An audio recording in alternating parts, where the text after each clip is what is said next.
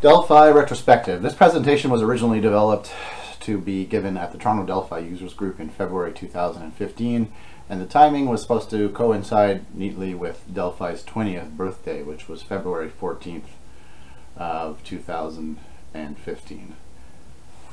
My name is Warren Postma. I'm a blogger. I blog at delphicodemonkey.com.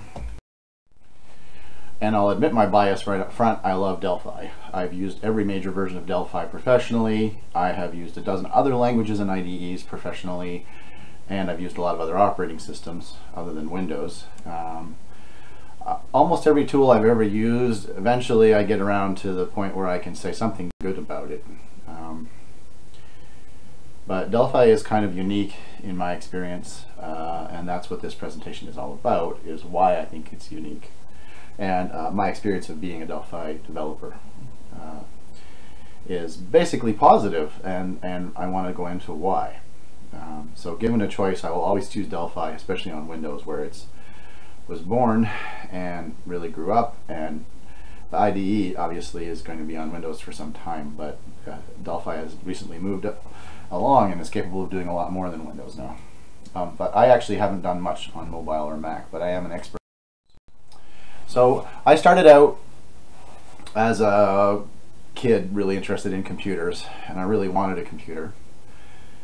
And uh, in my elementary school library, I think there was one book on computers and it said that sometimes computers could be as small as a typewriter and a desk. And I think that book was probably published in about 1965. I was aware that computers had moved on, but my public school library was not aware of that. I saved up my pennies. I bought a Commodore 64. I learned to program in BASIC on the thing. I learned assembly language on the thing. Um, and actually uh, got quite good at both the BASIC and the assembly language. I, originally, I then eventually moved on to a PC. Around about 1988, I got my start in Pascal. I bought Turbo Pascal Professional 5.5. Uh, and that was the first version, I think, that had the object-oriented syntax, which is basically making it very similar to the modern Delphi syntax, although there's some differences. Um, in fact, actually, the original Turbo Pascal style of doing objects is still available to you in Delphi today. The backwards compatibility is incredible. I've got a little screenshot here showing uh, Epson Equity 1, which was my first PC compatible. And beside that, there is a modem. That's a Practical Peripherals 14 0.4K baud modem. Uh, it was quite expensive when I bought that modem around 1989. I think it was one of the fastest modems you could buy around 89, 1990. And I ran a bulletin board system on that. So this is an ad for the Turbo Pascal 5.5 from the era. And I don't know if you noticed the little Porsche on here, but he shows up on the Delphi 1.0 installer. It's the dashboard installer on Delphi 1.0. This idea that Delphi and Pascal gives you a lot of speed, uh, especially compared to the C and C++ compilers of that day, and even compared to the C and C++ compilers of today.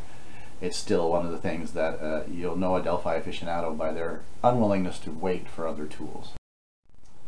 So I am a geek. I have a computer science degree. I've been a senior software developer for some time now at a variety of companies that usually work with Delphi and sometimes other things as well as Delphi. Currently I'm an Embarcadero MVP, which basically means that I'm a Delphi blogger who loves Delphi and what I contribute to Embarcadero hopefully is some feedback to them that helps them. And uh, what they contribute to me is a free license to Delphi for my personal use. Um, and basically it's a friendly relationship and it's a community uh, kind of a relationship. Uh, it's recognizing community members who really, you know, who build the community. And it's a, it's a good program, and I'm glad to be one of the MVPs. Uh, in my previous roles, I've worked a lot in engineering, um, science. Uh, I actually worked at Embarcadero for a while, uh, and I've worked at a, a, number of different industries and vertical markets. Um, my blog, the address is there, and I have a lot of points on Stack Overflow for answering Delphi questions. Other stuff that I know. Uh, I've used every version of Visual Studio, mostly with C++, um, starting from about 6.0 up to the modern era. I've done a tiny bit of C Sharp and VB. Um, and actually I have some respect for C Sharp. I don't really like VB very much though. Um, I used something before uh, Delphi came out called CA Realizer, which was like a uh, competitor to Visual Basic. Back in the 80s and 90s, I did quite a lot of database-driven development uh, using DBase for DOS, FoxPro, Access, Paradox, DOS and Windows, and other languages like Smalltalk and REXX. Um, these are all a long time ago, though. Uh, more recently, uh, I've become quite good at Objective-C and Xcode. Um, I have spent some years in my career working on Unix. Uh, I know in C and C++ from a Unix command line development point of view. Um, and I really like Python. I've used Python on just about every platform that Python runs on. I really like Python. It's not really a, a high-speed compiled solution like Delphi, but for scripts and tools that don't need the high performance, I find Python quite fun. Um, I've used every version of Windows from 3.0 to 3.1 up to the latest uh, Windows 8.1 and Server 2012 R2 and done a lot of desktop and embedded Linux work. Uh, I've worked in other Unixes, I've worked in FreeBSD and Solaris, I've done a lot of embedded systems, microcontroller, single board, computer work, and back in the day before it died, I did a lot of OS2. In fact, when Delphi was first released, I was actually a professional OS2 software developer in C++. So I was born in 1970. The roots of Pascal go back to 1968 and 69. The first published paper on Pascal that formally defined it, um, and shortly thereafter the first working implementation of Pascal would have been um, around the same year as I was born. And I started working in Pascal when I was 18, which is 1988, and that's about the era that the Turbo Pascal 5.5 came out. Um, the object syntax that Borland used for their objects uh, was originally specified by an object Pascal that was used at Apple. Uh, I don't know if very many people knew this, but the ROMs for the original Macintosh were actually entirely written using Pascal. So Pascal was actually the systems language of Apple back in 1984. Um, since then, I would say their systems languages are C for their kernel and Objective-C for their user side. Uh, 1995 is when our story starts, though. Delphi was released. Uh, the first time I tried it, I was an OS2 programmer, and I was just blown away by the way that you could just click and have a Windows binary without even reading the Chuck Petzold book Windows 95, and there was actually a programming Windows book that came out before Windows 95 that explained, you know, how to call create window and how to make a message loop uh, by hand. And you could do that in C, and you could do that in Pascal. There was a product called Turbo Pascal for Windows. But just the lack of needing to know all of this gory detail to be able to just get going. This is a key thing that I think a tool ought to provide and to just get you onto a platform without having to learn really the gory details, especially when the platform is as gross as the underlying Win32 platform is. Um, it was obviously, a, I think, a 1980s design, uh, the API. And Microsoft has, of course, tried to get away from it at various points and found that no, they can't. Uh, it's a contract now, it's a very important platform, and they cannot change it. And that's fine because that's what frameworks are for. And Delphi 1, I think, included the VCL 1.0, which was really the first framework really worth using. Um, and it was the first framework that gave you a huge amount of capability without actually preventing you from doing anything that you couldn't do uh, if you just went native. Because whenever you wanted to in Delphi, and you still can today, you can go back to the Win32 API. And sometimes you do need to, but most of the time you don't. So as I said, I was working on Visual Age C++, which was an IBM compiler, and I used IBM's absolutely awful user interface framework for the OS2 presentation ma uh, manager. And I, the, the difference between the Delphi VCL and how nice it was compared to uh, how awful the Win32 platform was, it showed me that someone could build a platform and a framework and, and do it properly. Delphi 2 was a huge uh, release because it went from 16-bit to 32-bit. I bought my own copy of this, and as I remember it, it came on CD and it had Delphi 1 on the CD as well. Um, I used it to prototype software for my employers. They liked the tool, and I got to build a few little projects with it, but most of my work at this point was typically C and C++. Um, I started to learn how to develop my own components starting in Delphi 2. Uh, a few years after this, Ray Konopka released a really great book. Uh, on component development called uh, Developing Custom Delphi 3 Components uh, by Ray Konopka. And this was the first version that didn't have the 255 character Pascal string limit. It had uh, the long string, which we call ANSI string type in modern Delphi. Um, and I believe it had a wide string field as well, which was basically just to wrap up the Windows B string type, um, but not as fully Unicode capable as later versions became.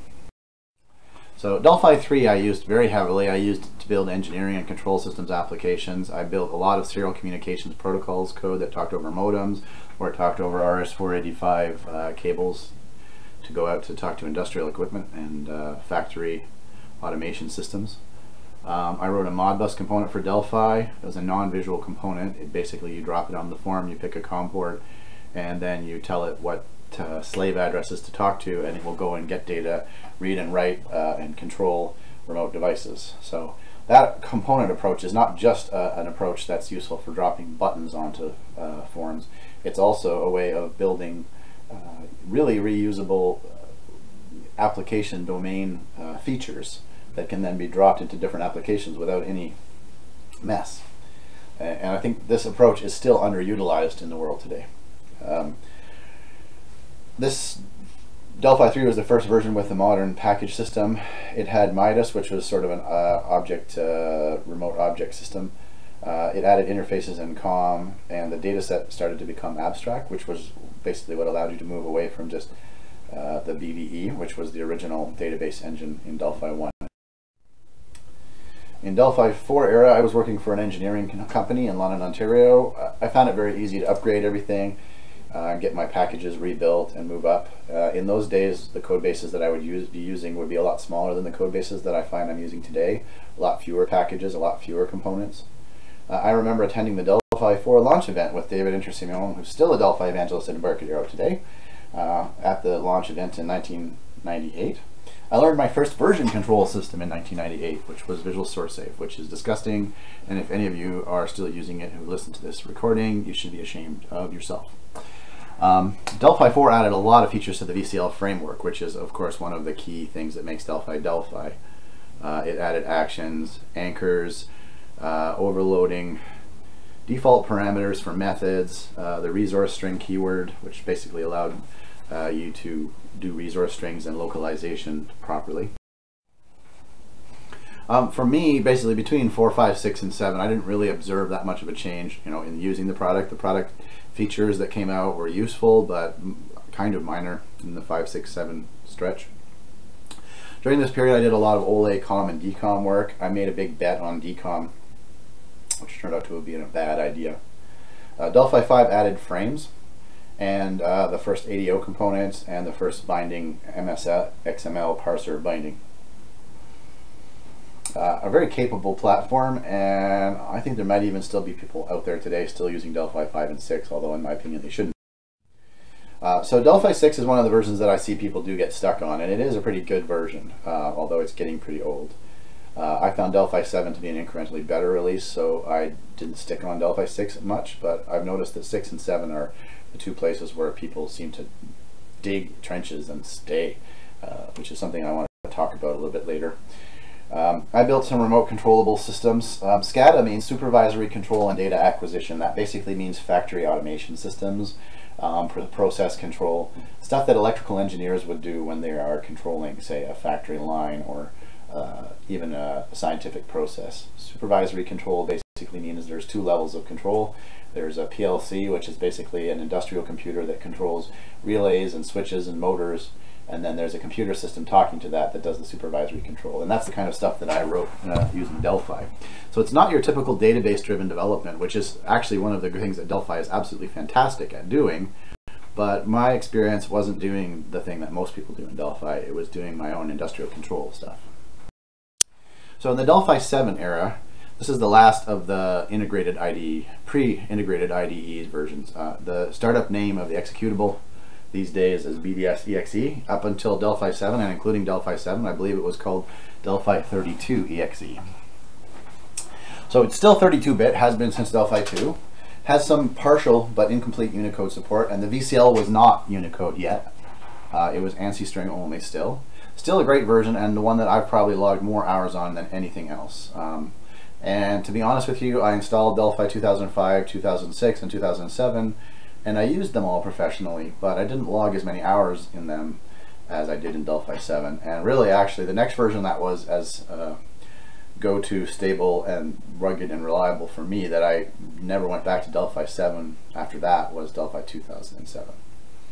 Um, so as I said, I've logged a lot of hours in this. This one added the support for XP themes, although it was hard-coded. You couldn't modify the manifest file. In fact, actually, a lot of people would use that feature and not know what a manifest file was.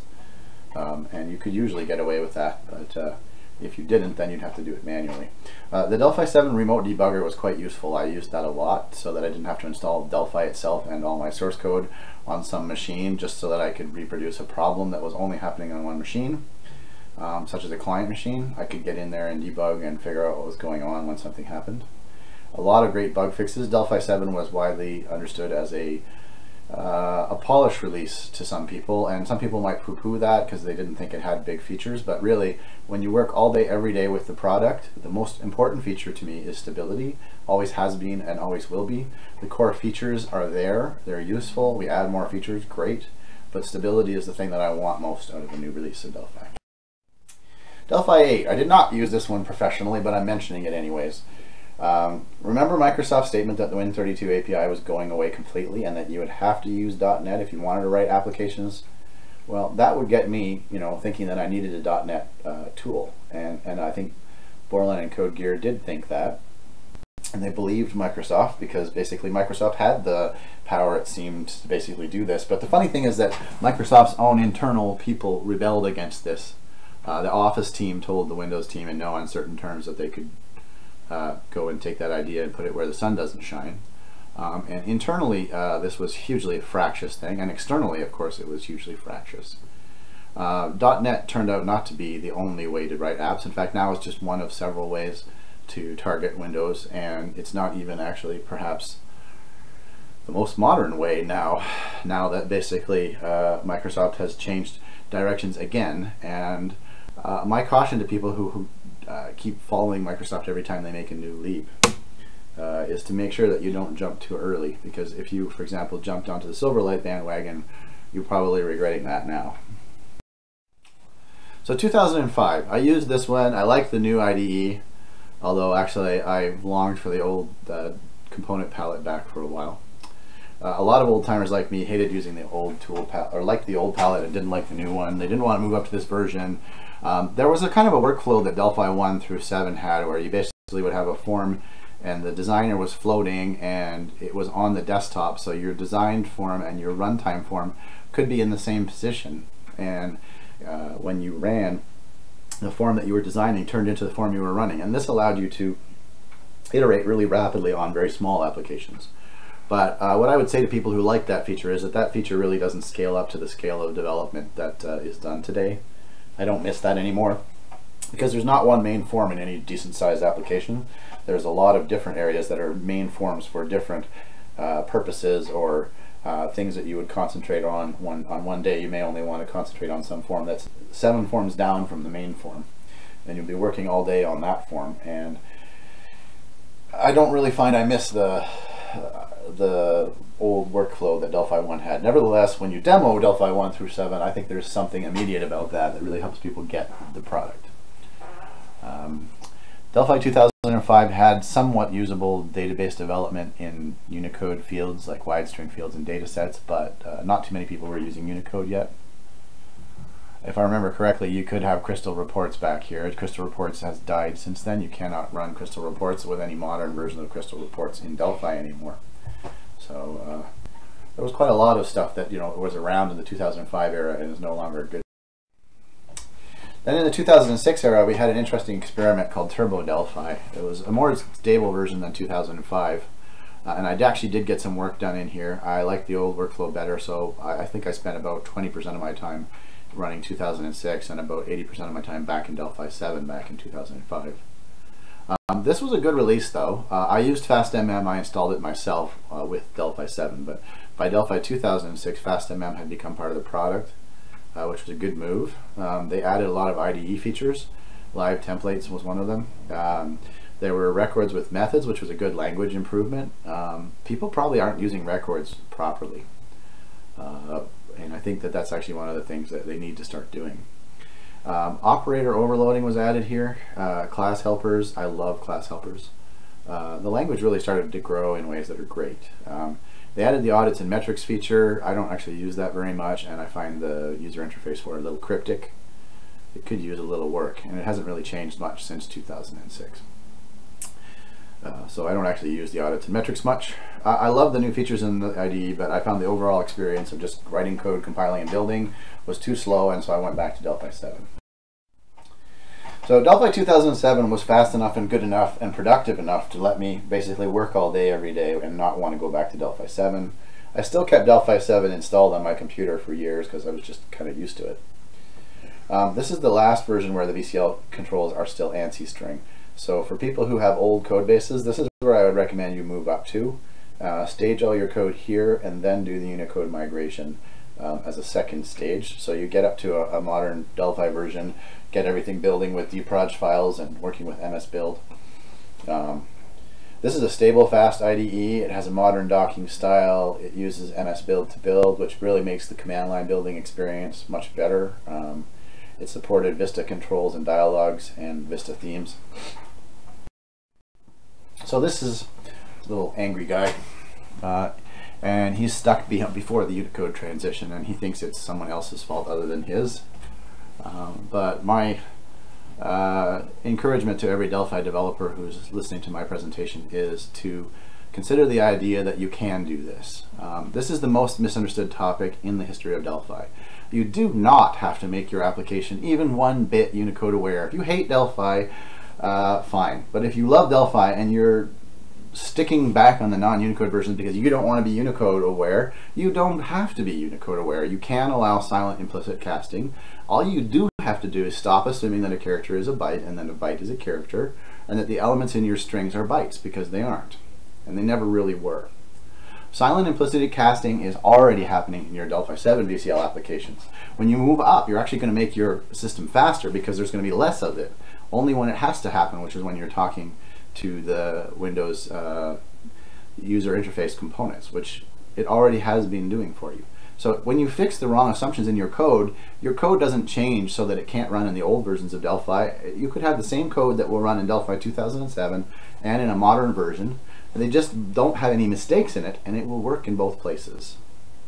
So most Delphi programmers though have weak component and package development skills and most code bases are very poorly structured and they have sprawling dependencies and this is why it's difficult for many people to move their code up. Um, intransigence is another reason. But it's easier to blame Delphi and think that there's some magic switch that could have been placed in the code that could have made your job easier. There isn't a magic switch that could have been placed into the code to make your job easier and anything that you think that there could be that could make that job easier is a mistaken assumption. And anybody who thinks otherwise should get in touch with me and I will sort you out. Uh, apps that do not need to be Unicode aware themselves should still be upgraded to a modern Delphi version because the Windows platform has evolved since 1998 and your apps are not deploying on Windows 98 anymore. Your platform is a Unicode platform on Windows XP, on Windows Vista, on Windows 7, on Windows 8. and So please do not shipwreck yourself um, staying on a very old Delphi version. I'm not saying this because I want Embarcadero to make more money off of you, although, you know, I like Embarcadero. I, I think they sell a good product, but I'm not saying this for their benefit. I'm saying this for yours. Don't shipwreck yourself. So, Delphi 2009, boom, they've shipped Unicode, the first Delphi with Unicode and generics. It actually wasn't a big job for me. I actually understood the, uh, the need and I understood what would have to happen Code Gear guys uh, basically got acquired by Embarcadero, so this is the first release that was done with the Embarcadero logo on it, and I'm really glad that Embarcadero acquired the Code Gear team and uh, division, and Embarcadero has done a really good job with Delphi. So uh, this was a huge leap forward. I ported all of my code base. I was working for a scientific instrument company. I had built a huge number of things in Delphi. I ported all of that code, all of those components. It took me about two months to do 400,000 lines of my code. Um, there was a couple hundred thousand lines of third-party component code as well, and I ported some of that as well. So that's a conservative number there. I ported more than 400k lines of code in a little bit less than two months. So I had a lot of IDE stability issues because of the new compiler uh, features. There were some strange things that happened. I was working on a pretty large set of code bases with large sets of components. Um, but the remote debug experience alone, even if you didn't need the Unicode change, was worth moving up from 2007 to 2009 because this is the first really great remote debugger version. Um, there were some compiler internal errors that were essentially really hard to uh, figure out how to fix. They were caused by the new generics features, but if you did not use the generics code, and most existing code didn't, um, you wouldn't have run into those. So besides the fact that string equals Unicode string now, um, there's generics and collections, anonymous methods. Uh, the exit uh, statement could take a, a, return value. It looks like a procedure call, but it's really not. It's actually a keyword. Uh, and DataSnap was rebuilt in Delphi 2009. So this is 2008, so this is seven years ago. So 2010 was a really good incremental version. Uh, it was not hard for me to move up. Uh, it was a welcome change uh, from the large effort that I expended from 2007 to 2009. Um, and if you wonder why I have so no sympathy for people who still haven't made this change in 2015, it's because it's been eight or nine years. And so, yeah, no, I'm out of sympathy. Um, attributes, code formatting, this was a good feature. Debug visualizers, this is underused. People should actually learn what this is and start utilizing this feature. You can build plugins for the debugger to help you see the state of your application. That is just fantastic. Debug time components, basically. Um, the touch support was added to the VCL. Um, it's funny, now the hardware is getting to the point where every laptop is almost coming with a touchscreen. This feature was added, I think, a little ahead of its time and wasn't used much at, at that time, but now, you know, I think that touch support in the VCL is just as important as all of the mobile platform support in Delphi recently, and it's underappreciated. It's a great feature. Um, the new enhanced RTTI feature was a fantastic uh, addition to the language. Um, the delayed DLL loading supported right inside the language instead of having to hand code that. That's a great improvement. Uh, IDE Insight is my best friend. Uh, started using it back in this version and kept using it. The F6 key is your friend.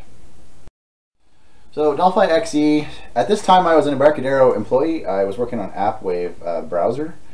Uh, I felt basically that while I was at Embarcadero, we were actually using the product, but I wasn't, you know, in the same office as the guys working on Delphi itself. But I talked to some of the guys who were developing Delphi at the time and communicated to them that I saw kind of a nice improvement between 2010 and XE uh, in stability, and we moved the AppWave uh, browser product up from 2010 to XE very rapidly um, and we enjoyed the additional stability because a lot of effort had gone into QA and testing and continues to go into QA and testing and I see kind of a good upward stability curve here. This is just a little chart for not scientific or based on anything real, it's just subjective. Uh, but I really think that the quality curve of the IDE is in a really good, uh, going in a really good direction. Every release, they're they're putting effort into this, and this is really important to me. It's the one thing that I look forward to every release: is can I work a little faster? Can I work a little better?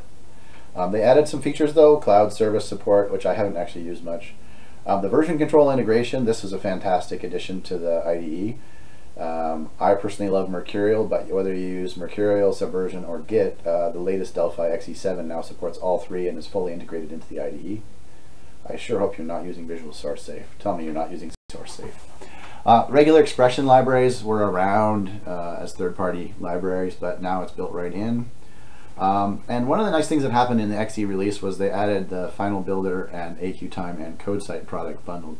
Um, I haven't had the best experience with the AQ Time product, but the CodeSite one, uh, I still use it heavily.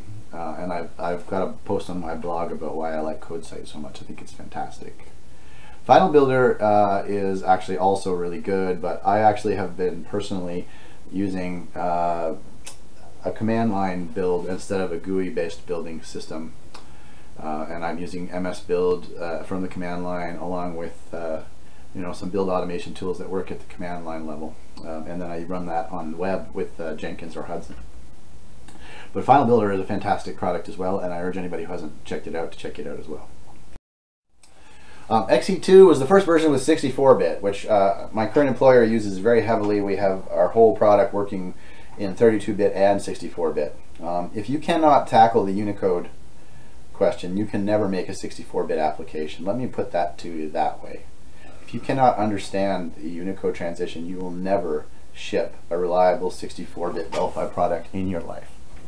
Once you understand how to move up Unicode, you'll know some of the skills that you need in order to make your app properly work in 64-bit because you need to avoid making certain assumptions in 64-bit, primarily that a pointer is the same size as an integer. Um, it's not. Um, and you need to be able to spot those assumptions in code, just like you learned to do for the Unicode. Um, getting up to 64-bit was not as hard as getting up to Unicode uh, for most people, but uh, really worth doing, getting your application out there and able to run on 64-bit Windows and consume 64, you know, more than two or three gigabytes of RAM. Um, live bindings was added to the language. This is another underappreciated, underused feature that I think is great. Um, DataSnap Mobile was added. Uh, that was basically the mobile connectors, I believe, uh, so that you could have a DataSnap server written in Delphi and that can talk to a mobile app written in any variety of different languages. Um, VCL styles, uh, this is a nice feature. It's being improved even more over time. Uh, but basically just getting rid of all that button face gray in your app and making your whole app look great. Um, there were some third-party tools out there, but uh, and there's actually still another third-party option from Developer Express, but to have the VCL styles built right into the VCL in modern Windows application development, it's just an I think an essential essential thing that really moved the VCL into the modern era. Uh, FireMonkey Framework, this was the first release of it. Uh, there was some preliminary uh, iOS support. Uh, there was some decent Mac OS X desktop support. Um, I used XE2 for audiovisual and medical uh, software that on two different companies. And XE2 is still out there and heavily used. Some people have stayed on XE2 for a while. An excellent version of Delphi. Uh, at this point I started rescuing out-of-print Delphi components like DCPcrypt and I started Bitbucket projects to host them. Um, whenever I notice something really good has been you know, abandoned by its developer and the website has gone down, um, I try and have a Bitbucket project. That doesn't necessarily mean I'm the official maintainer, it just means someone's keeping the open source stuff open source and up on the web and available. Um, another one that I'm kind of probably the de facto maintainer of, I don't know if anyone else is, is TEmbeddedWB from bsalsa.com. So XE3 pulled back the preliminary iOS support, which was probably half-baked to begin with. Um, it added record helpers for built-in types like string.length. This is a really cool feature. Um, the first Metro styles were added to the VCL styles. Um, the stability was a nice improvement because XE2 actually did have some stability uh, issues still, and some of those were fixed. Um, those were usually things that you would encounter when you were doing what I'm doing, which is using very large source code bases. Um, there were some FireMonkey improvements, but in my opinion, basically FireMonkey as a mobile platform was still evolving rapidly and not in great shape. Um, in XE4, a lot of effort went into fixing bugs, not just adding features. I appreciated all the effort that the Delphi team put into this. Thank you guys if you listen to this presentation. You know, it might seem like you spent three weeks fixing one bug, but if you stopped, you know, some problem from happening that allowed a developer like me to keep working, I'm thankful for that. So, uh, product management team at Delphi, this stuff is important and continue to prioritize that stuff because all your customers need it. Um, I've been using Mercurial at this point for some time, and I really love Mercurial. Uh, I started getting interested in using uh, continuous integration with my version control to do things like bisecting bugs, and so I started getting interested in you know building tools to help me do that. Um, I don't know if anybody has seen how Git bisect works, but I was trying to do the same thing with uh, Mercurial. Um, XE4 shipped new iOS support. Um, that support has been um, evolving release by release to support new features and platforms and uh, visual uh, sizes and device levels um, and basically to keep up with iOS version releases as well. Um, keeping up with mobile platform technology is a very big job and so you know I think by this point everybody probably who wants to use the mobile support probably you want to be on some kind of a support agreement and getting the new versions and moving up to them uh, every single time they release because the mobile platform support is rapidly uh, growing and improving and adding, getting new features. Uh, FireDAC was added in this release, uh, which is planned to replace dbExpress, and both of those essentially are, I'd say, acceptable to use. Hopefully nobody's using the BDE. In fact, by uh, these days, I don't think it ships in the product anymore. Uh, you have to install BDE separately. Uh, XE5 was another incremental bump uh, as far as, uh, and I'm not saying that as a bad thing, that's the highest praise I can give a release is that it's a, a bump and improvement in stability and memory. Um, incremental improvements on mobile development were made here. I've only done demo scale work on mobile apps, so I'm not the person to tell you how to go about you know building large mobile apps or uh, production scale mobile stuff. Uh, I'm more of an expert on the Windows desktop. Um, Android support was added. That had been added for asked for for a long time, and I really think at this release it started to look like a pretty, uh, pretty cool uh, platform when you can target all these different kinds of devices with one IDE. Uh, the REST client library uh, added some good client-side support to what had already been good REST serverless library support, uh, making REST development a lot easier. XE6 is also an incremental version. Uh, during these times, XE5 and XE6, I was basically using XE5 or XE6. XE6 is where my current employer is actually uh, working for most of the developers on the team because although XE7 is the current release, XE6 and XE7 work equally well for us. I ported all our components up very easily, uh, just making new packages where necessary and adding some defines where necessary. Um, really XE6 and XE7 are fantastic. Um, app tethering was added in XE6. Apache support was re-added for DataSnap. Um, and the BDE is no longer in the default install, so hopefully you are no longer using the BDE. You shouldn't have been anyways. Um, and XE7 is the latest release.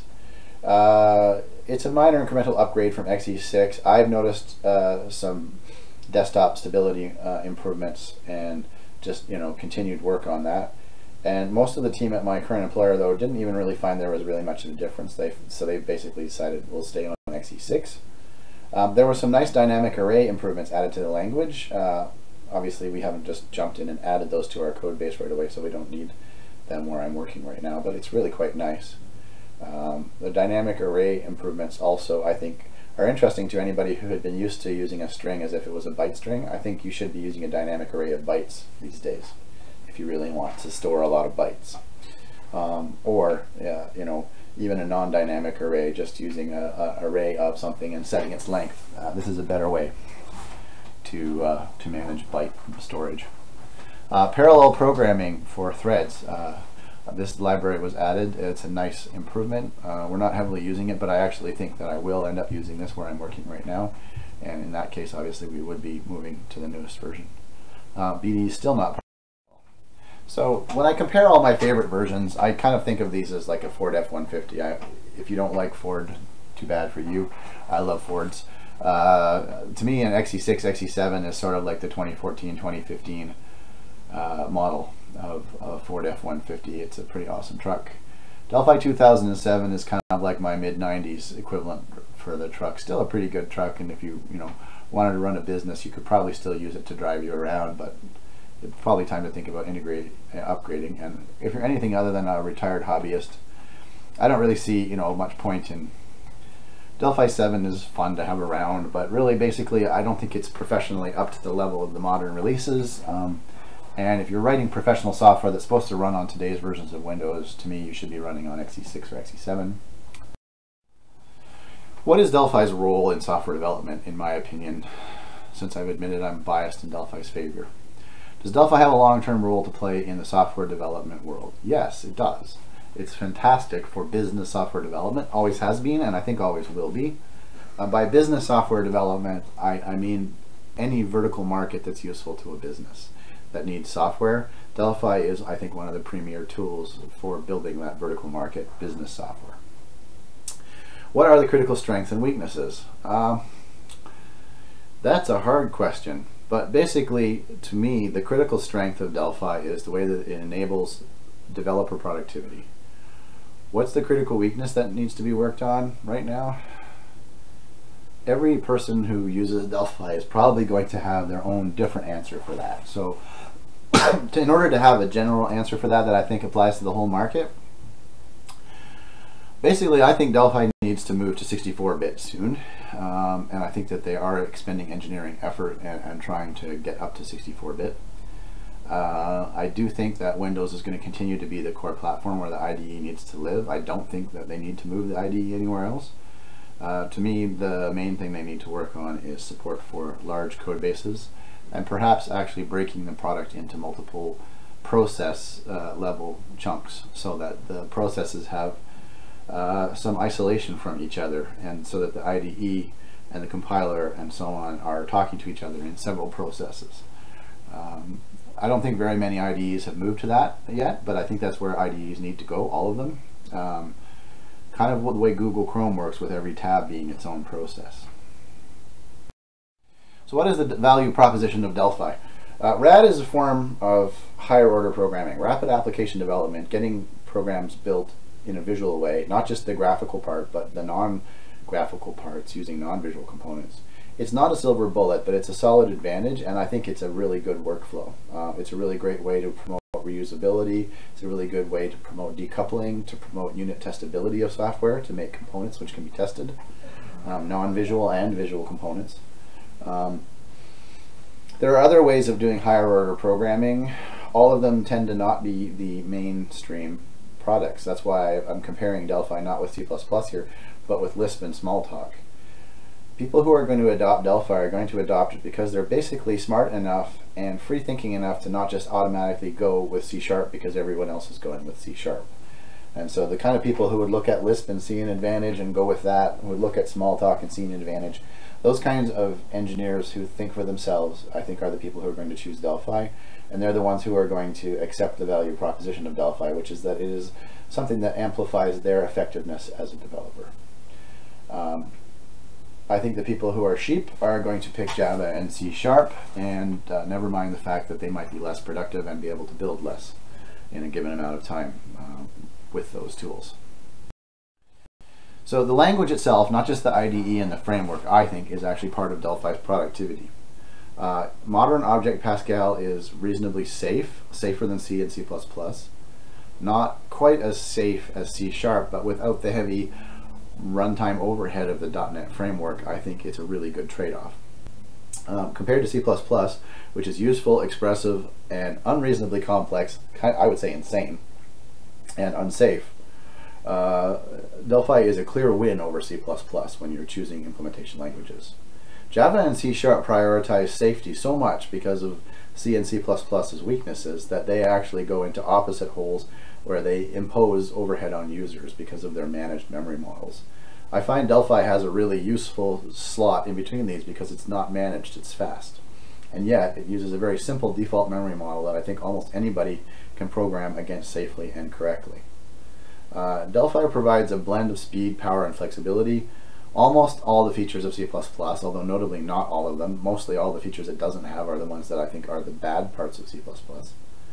Um, and it has a lot of safety and expressiveness, uh, like C Sharp and Java, although not as much C expressiveness as C Sharp and Java 1.8. I think it has enough. So native tools like C++ and Delphi are going to be faster than VM-based tools, and VM-based tools are generally going to be safer. Uh, for non-performance critical work, perhaps C Sharp and Java have some areas where they have, you know, overall more strengths than weaknesses, but I think that, that you're eventually going to run into something you can't do with C Sharp and Java. Uh, I have not run into anything I can't do in Delphi. Productivity and velocity are my number one reasons for using Delphi, but performance has got to be like 1.1 or 1.2 reason, maybe number, okay, reason number two. Backwards compatibility is, you know, also a very strong element of the Delphi value proposition. So what are the challenges? I don't see a strong competitor to ASP.NET technology in the current product um, for server-side stuff or a competitor to the Java Tomcat model if you're a Java guy. I really do think the IDE needs to go 64-bit. Um, I think the 64-bit compiler needs some more optimization work. Uh, the developers at my current employer, including me, experienced some performance and memory problems on very large projects. Uh, Embarcadero has released a QA note about this, uh, and they're working on this. I know that they care about this and they're working on it. It's something that's affecting me a lot, and I know it's affecting other people, and they are working on it. Uh, our main application is one of the largest Delphi applications I've ever seen. It's around 4 million lines of code. I hate to say it, but it's not possible to split it up. So basically, we need to be able to work with that large code base. So the IDE packages we install, over 250 of them, weigh in at a couple hundred megabytes of RAM when they're loaded. So for the future with Delphi and me, uh, native multi-platform is unique and exciting, and I'm glad to see the product growing.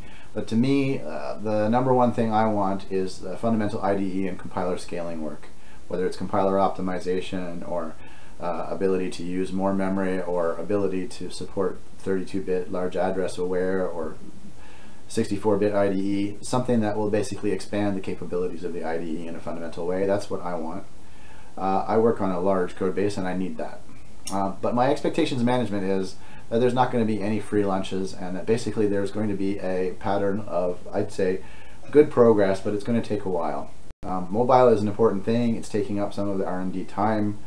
The desktop uh, is going to continue to be important for 10 or 20 years at least, and so I expect all of us, users and the Delphi team themselves, are going to put work in to maintain, uh, you know, our code bases. And I think adding platforms and so on, this is great stuff. Um, I do expect some growing pains, but in the end, I think in the end, Delphi is actually going to continue to be my favorite product out there. Uh, I don't think there's anything else out there that I could, you know, go and use instead that I could be happier with. Delphi is still the best thing. I think mobile is important, but it's not as important to me personally as desktop and server-side development. So I think Delphi's future rests secure in desktop and servers, and I think mobile is a bonus feature, um, an add-on, an accessory to go with your desktop apps. I think most users who have commercial software businesses could probably continue like that with their desktop, their mobile apps basically being free add-ons or 99 cent tools that they add on to their main business. Um, add-ons that I love for Delphi. I wanted to give a shout out to some of the people who've built awesome add-ons for Delphi. Andreas Hausladen rocks. Uh, you've got to go to his website and check out IDE FixPack and the DDEV extensions. They are amazing. Um, please understand that he builds what he builds with some help from Embarcadero. Embarcadero is to be praised for the existence of IDE FixPack and DDEV extensions, not criticized for the fact that not all of these improvements that help some people and don't help other people aren't all in the product. What happens is when Andreas makes a great fix and it doesn't have any downside and doesn't cause regressions for any customers, Embarcadero does build those features and fixes back into the IDE. Andreas is working as a partner with Embarcadero to make Delphi better. Embarcadero deserves praise for what he's doing and Andreas deserves praise for it. So please, I, am sick of hearing people whining about Andreas's fixes and saying, why aren't they all in the IDE? Well, learn what's going on and pay attention. Embarcadero cares about fixing the product up just as much as Andreas and I do, uh, and they're working hard at this. So I think, uh, you know, give Embarcadero a break here. Uh, GExperts is a, probably the largest third-party IDE add-on for expert tools. Uh, I love its file open dialog for finding files in directories and quickly opening them. I think people need to try that. CNPack has a lot of equivalent features. Um, try those two out. They have a lot of extra features. My advice is when you install those, turn off all the features that you don't use and add features one at a time because when you try and learn one of these mega packs all at once, it just gets in your way, all these features. Just add one feature that, that might make your life better. Try the file open dialog in GExperts and then try one more feature and add those over time slowly. Some third-party components that I love. Uh, there's Virtual Tree View, which is open source. Uh, the TMS component packs and the Developer Express component packs are the two uh, most popular commercial third-party component packs right now. I know there's a lot of Delphi shops using those two packs. Fast Reports ships with the product uh, as a basic edition, but there's a full edition that you can also purchase as an add-on. That's my current favorite uh, reporting engine. There's a new uh, profiling system called Nexus Quality Suite that's just come out, and I'm going to be doing a blog post and a review of that soon. I'm still playing with that. I'm quite impressed with it initially. Um, and CodeSite, I've blogged about this. I absolutely love CodeSite. If you have not checked out and spent some time learning CodeSite, you really should. So uh, there's actually a more up-to-date roadmap on the internet than when I made this. Uh, so if I, you're seeing this on YouTube, just check the link below. I think Embarcadero has released a better roadmap than uh, anything I have here. Uh, Embarcadero is heavily you know, investing in engineering uh, on the product and is moving the product forward and they do have a roadmap published. They have confirmed that they are working on 64-bit iOS. Uh, and they've publicly confirmed that they've acquired Castalia and they're building the features of Castalia, which was a third-party tool uh, similar to GExperts but some extra features.